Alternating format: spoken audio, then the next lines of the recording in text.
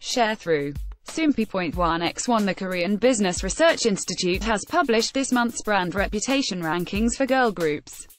See also, MAMAMOO's Sa reveals a day in her life on I Live Alone. The rankings were determined through an analysis of the consumer participation, media coverage, interaction, and community indexes of various girl groups using big data collected from May 7 to June 8.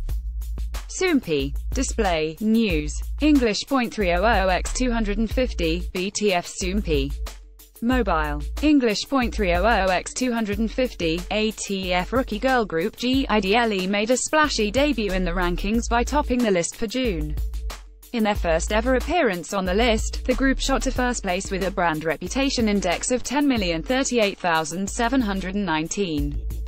High-ranking phrases and GIDLE's keyword analysis included LATATA, the group's debut title track, The Show, and Debut, while their highest-ranking related terms included hot, pretty, and exciting.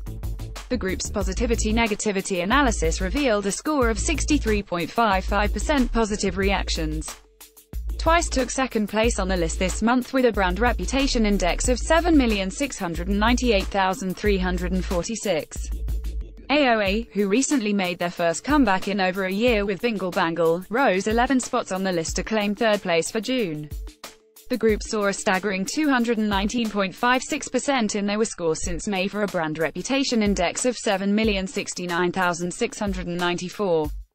Red Velvet followed close behind at fourth place with a brand reputation index of 7,048,677, and Blackpink rounded out the top five this month with a brand reputation index of 6,458,065.